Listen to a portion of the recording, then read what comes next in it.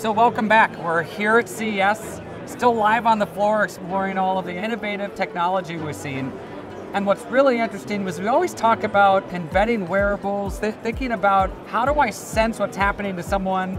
And what's interesting is we're going to talk to Frank here about not just having a wearable, something that you strap on that's extra, but how is it actually functional within that? So Frank, why don't you tell us a little bit about the product and what you have?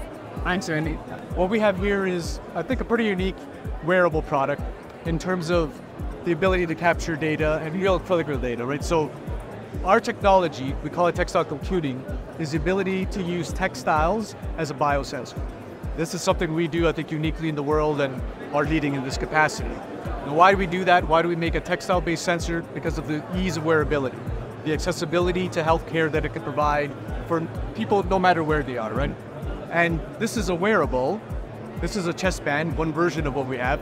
We have bras and uh, other undergarments as examples, where we're able to take an ECG, a 3D ECG signal from the body, and process that for cardiovascular disease analysis, right?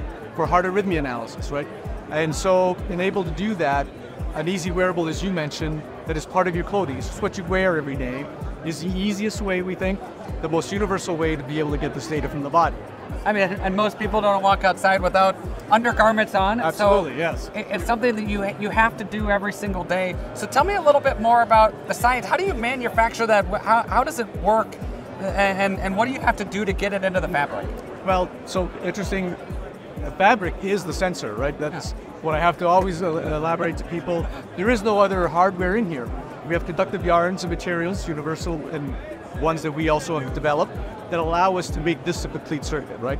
And then it terminates here at the pod, and the pod is really the digital signal processing capability. There's an IU chip here, so we're getting a lot of biometric and biomechanical data from the body, not just an ECG, 3D ECG. This is a medical grade device, approved in Canada, and will go soon through FDA approval as well. That allows us to take along with an ECG, heart rate, heart rate variability. We can do core body temperature capture. We have a lot of the movement analysis, all your activity, actigraphy, and we capture sleep data, which is you know an over and above that is interesting to the consumer, not just from uh, using this as a um, arrhythmia detection today, right?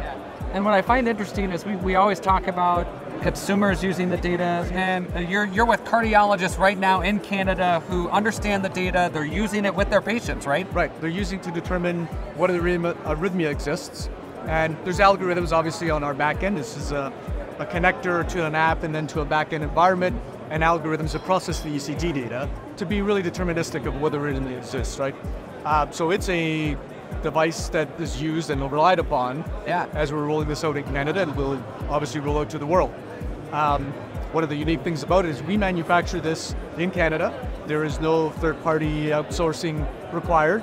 We have all the components and machinery, and we developed it from the ground up, right? So um, you can rely on the quality as well as the ability and availability of the product. We use 3D knitting machines to make this product, which really essentially creates this whole strap and yeah. go. Um, and we can make multiple forms of it, right?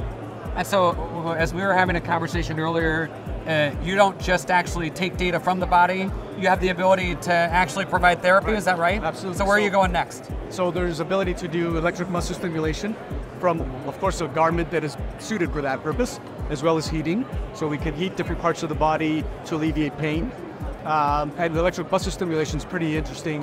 You know, people who have lost limbs and so forth and may have a prosthetic. We also are an interface, working on some companies as an interface to be able to help to modulate that, right?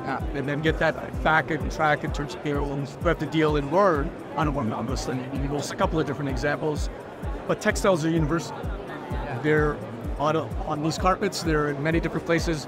I can do pressure sensing, I can do bed sheets, allow us to see the movement of people through um, on their own beds or in a hospital. Many different applications. We're really excited about it.